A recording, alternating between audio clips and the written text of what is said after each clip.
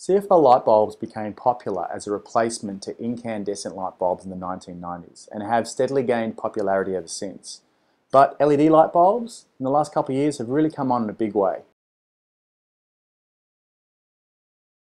When we're talking about comparing CFL and LED light bulbs, we're really only talking about one type, the A series, the regular household shape.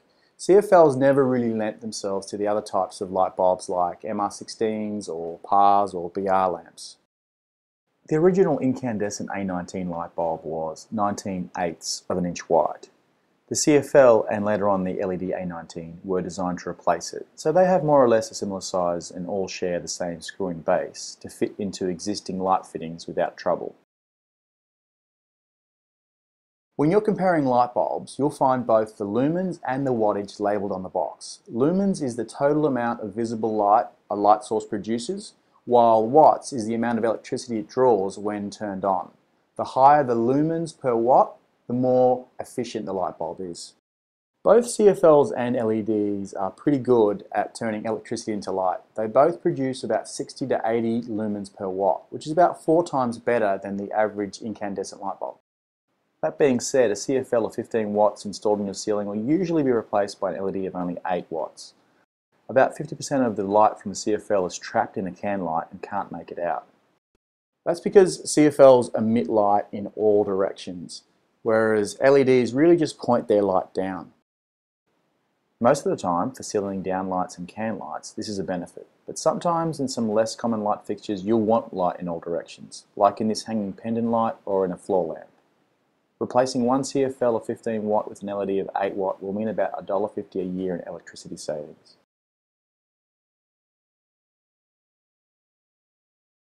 LEDs are claiming lifetimes of about 25,000 to 50,000 hours, and CFLs of about 8,000 to 20,000 hours.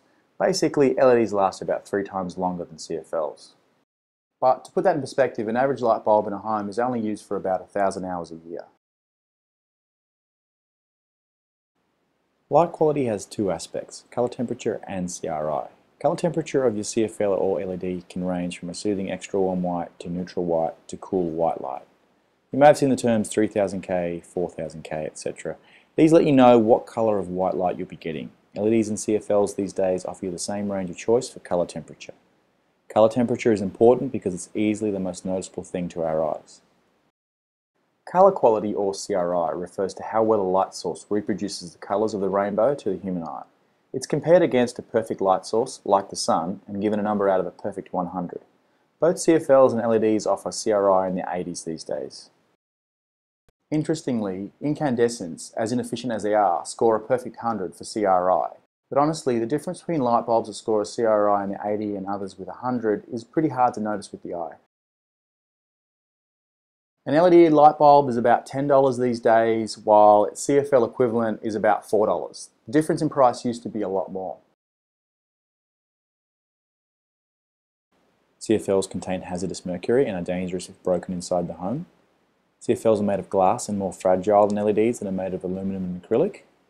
CFLs can take a while to warm up. LEDs are instant on. CFLs are difficult to dim. LEDs are much more suited to dimming. CFLs emit a lot of ultraviolet light. UV light has been shown to cause headaches and skin irritations. I hope that was interesting everyone and I'll see you next time.